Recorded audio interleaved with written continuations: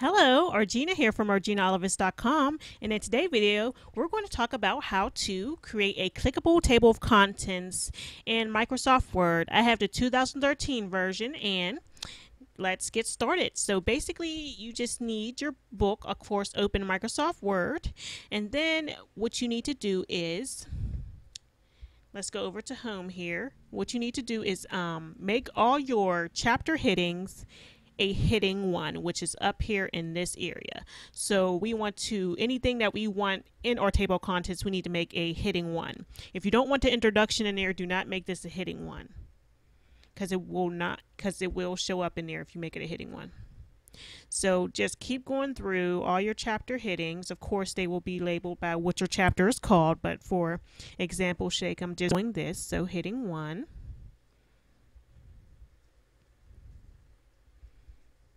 Okay. Heading one. And you pretty much get the, the gist of it.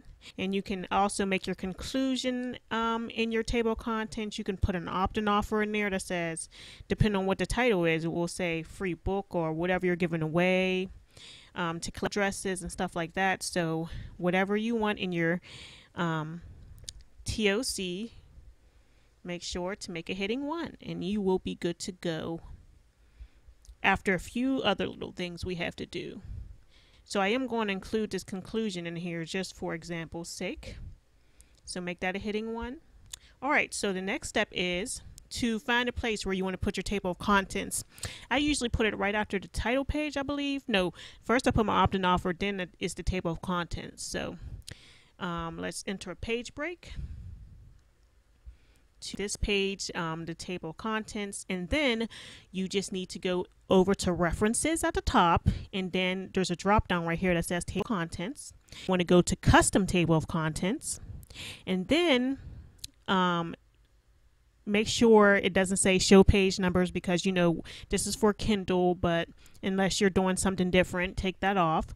And also, yours might say three, but I've changed mine um, to level one. Um, if you do level three, basically it's like you have your one chapter title, and if you have sub chapters, it will show in the um in the table of contents, and it could look a little junky to have all those uh, chapter headings and sub chapters and all that. That's too much unless you're doing a scientific book or something. So make sure it says level one. So change this to one, and then press OK and you're good to go basically.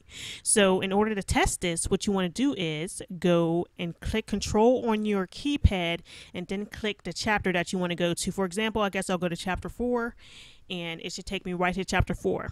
So in order to see if your links are actually working, what you need to do is go over to KDP and actually upload the file just to test it out and make sure your stuff is clickable.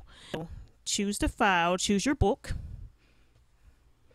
and I'll wait for this to get done. It shouldn't take long being that it's only like there's really no words in it. All right.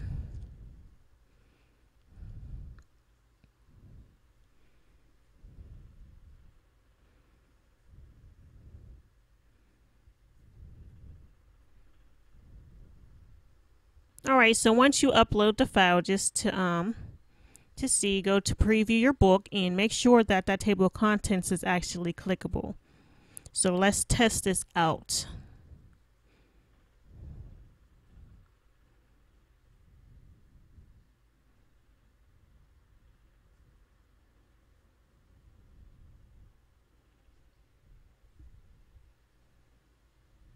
All right, so let's do chapter 5, for example, and it should jump right over to chapter 5.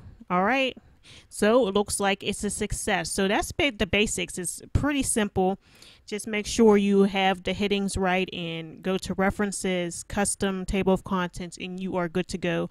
Thank you for watching. Make sure to pick up my Create Space course if you haven't yet. There's a lot of value in it. And also, I will see you uh, on Mondays. I'm doing videos every Monday now. So if you want to come back and make sure to subscribe, that will be amazing. So I'll see you in the next video and enjoy your week. Have a great week.